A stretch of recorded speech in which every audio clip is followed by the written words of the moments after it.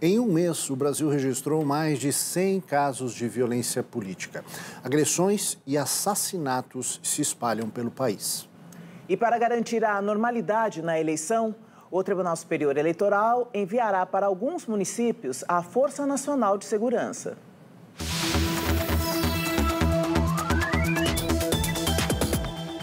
As forças federais vão reforçar a segurança no dia da eleição em 12 estados, incluindo sete capitais, entre elas o Rio de Janeiro.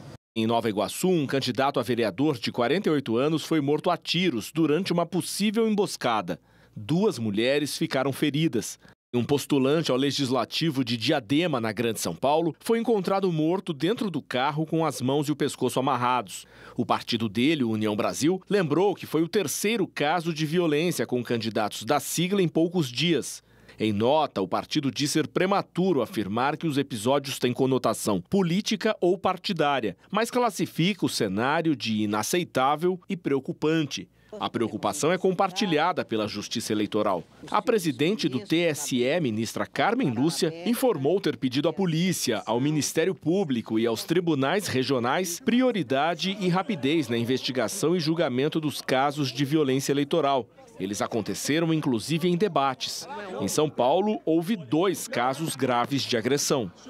Política não é violência, é a superação da violência.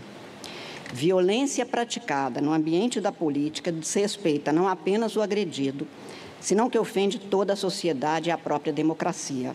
Todas as condutas violentas que constituam infrações eleitorais ou crimes serão investigadas, seus agentes processados com prioridade, urgência qualificada, para que a ele seja aplicada a lei. Segundo o Observatório de Violência Política e Eleitoral da Universidade Federal do Rio de Janeiro, 109 atos violentos foram registrados contra candidatos, lideranças políticas e familiares entre os dias 16 de agosto e 16 de setembro em todo o país.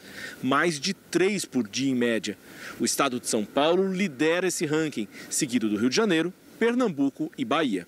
Um candidato é, se colocar na posição de executar um ato de violência traz um certo grau de legitimidade é, perigosa para a violência política.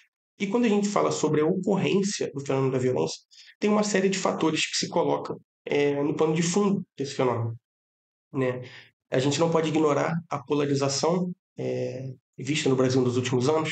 É, você tem os tensionamentos municipais, disputas econômicas, políticas, e nos últimos anos a gente pode falar também de uma inserção do crime organizado no meio formal como um potencializador da violência política brasileira.